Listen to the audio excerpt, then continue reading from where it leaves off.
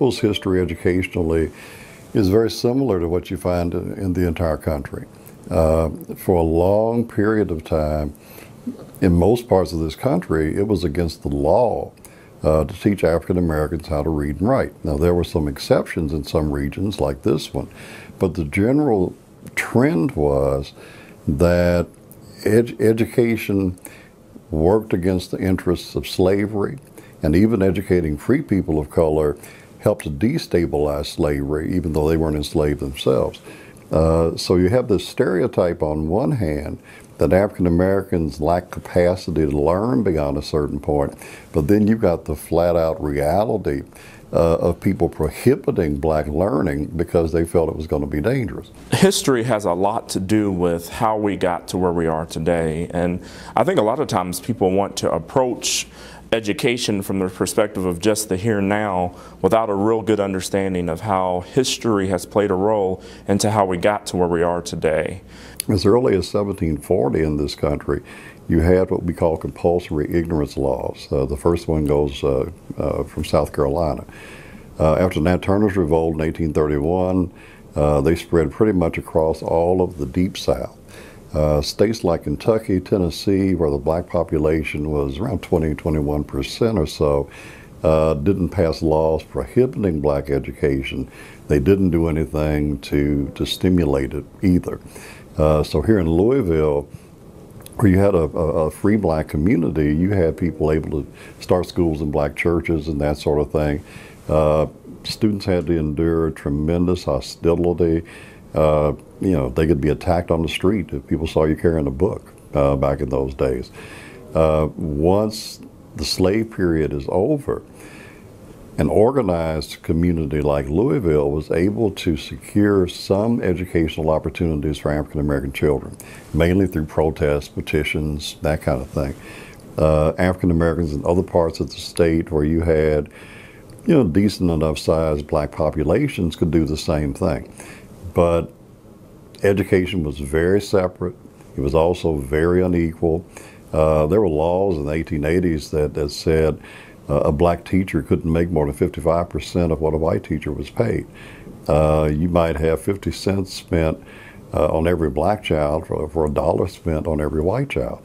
So you had educational opportunity, uh, but at the same time, uh, African American children had tremendous limitations placed on their ability to learn. You go back uh, to the, the, important decision, Brown versus the Board of Education in 1954, then you, that's where you really began to see people really focus for the first time on understanding the importance of um, the role that history was playing. This idea of separate but equal, and as we know and have come to know that separate can never be equal, uh, really has perpetuated many of the problems that we have currently in our system today. What we saw as a crisis 30 years ago, we've lived with us for so long, it's just become a condition.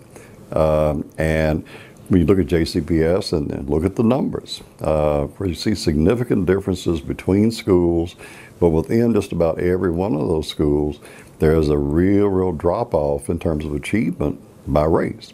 Uh, you plug in students from other racial groups, it's kind of up and down. Uh, Latino population and the Native American population will tend to parallel African Americans pretty well. Uh, the Asian American population, it kind of depends on which Asians. Uh, there's, there's one group that's kind of sailing along. Uh, they're more recent Asian immigrants, more from Southeast Asia, uh, who are having many, many of, of the same problems. How much do we know about the history of Latinos in this country is one thing. How much do we know about the history of Latinos in Louisville in the Louisville metro area in Kentucky, it's a completely different thing. Um, uh, I can speak, of course, as a recent immigrant, as a Latina who is a recent immigrant, but how about those Latinos who are not immigrants, not only not recent immigrants, but not immigrants at all? And if you uh, talk with anybody that has grown up here as a Latino, they will tell you their stories in terms of being these completely isolated, um, almost silenced minority because nobody knew how to deal with them. uh, nobody understood how do they fit in the in the fabric of the culture and the society and the classroom and the schools. And I think that's what we are dealing with right now. One of the strange paradoxes we face now is we live in a society where, by virtue of law, everybody's equal. And you would assume that outcomes and so forth would be equal as well. But again, we come back to those strange ideas running around in people's heads about race, uh, about class, about, about gender. Uh, and of course, the people whose heads those ideas run around in generally are the ones that control these educational systems. And so somehow, even in a nominally non-segregated society, uh, the, the same quality of education very, very seldom reaches children of color and poor children.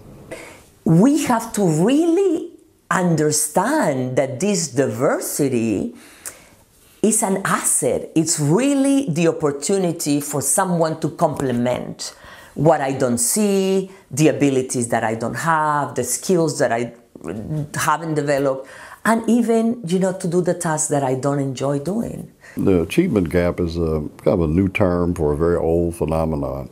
Uh, the achievement gap exists by design, certainly historically. Uh, you know, separate but equal schools were designed to produce an achievement gap.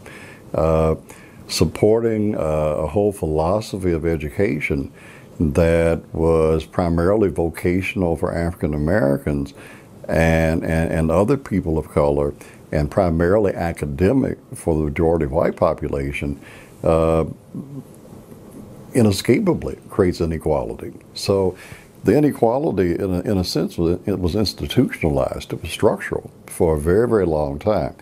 You know, now we're in a society where you've got the inertia of a system designed to produce one set of results on one hand, You've got the philosophy of a system that is not supposed to produce those kind of results anymore. Today, our Jefferson County Public Schools are more diverse than they have ever been. And because there's so many students from so many different backgrounds, this uh, thing that we call cultural competence on the part of the educators and people in the school buildings is really important. And I think that uh, having that historical perspective helps educators and helps those who come in contact with these students to be able to serve these students in a much better way. And an example of this uh, would be truly understanding and appreciating um, the challenges that different groups of students bring with them to the classroom in terms of how they got to uh, be in the current situations that they face with before they come through the doors of the school every day. We cannot assume that uh, when you ask one student, you can generalize. And I think that's one of the biggest challenges that we have because our our brains help us function in the world by categorizing. And I, this is something i teach constantly. It's a very useful skill. When i come to work in the morning i know that this is not something to eat. This is a pen I, I used to write it. So but it's not like i have to stop and think oh is this edible or not? It's my brain is categorizing edible not edible safe not safe so, how do we challenge that very useful mental, organizational ability that we have as humans, not to apply that to human beings, especially when we are not familiar with them? You know, how do you work with these 30 very different little creatures every, every day uh, or every hour in many cases? Uh, and teachers need tools for that. Um, they need to get it through the schools themselves, through the professional development, uh, they all have to work on rank at universities. They need to get it there. Uh, they need to get it from, in a sense, apprenticing under teachers who've already mastered these kind of techniques. Uh, but you kind of triangulate. And, and if, if, you're lucky, you get a really good teacher at the end of that. Uh, if you're not, you may get a teacher who's great with, with a few students and hopefully just no worse than ordinary with the rest. A teacher's responsibility or a teacher's job uh, in a school is to make sure that they're bringing the curriculum to the students in a way that's meaningful to the students. Uh, education research has proven through the years that it does make a difference in how you present information to students in terms of whether or not they're able to receive, process, and make sense of that information. And history has a large part to do with why there is a difference in terms of how we process information. Uh, just looking at um, males and females, for example, in terms of how they learn and, and their different modalities and, and receptiveness in, uh, in order to uh, learn information and learning styles. Uh, looking at African American students uh, versus uh, European students of European descent, Asian students and the way that they approach school and learning. All of these are very different and the differences uh, are not because of the, the race or necessarily the gender, but because of the styles of learning uh, that these different groups bring with them to the classroom. You can take students who, based on test scores, look the same. You know, they're in the same tracking groups and all that kind of thing. And, and then put them in some schools and you'll still see a significant gap. Now, these are kids that on paper are all the same because you group them based on that. But then you still see the same differences. Uh, you have other schools that have kind of a different way of working with students and operating with students. Uh, you can take kids that may look very different on paper, but you can bring them all up. Uh, an awful lot has to do with what educators do. We, we often want to say that the differences in achievement are related to differences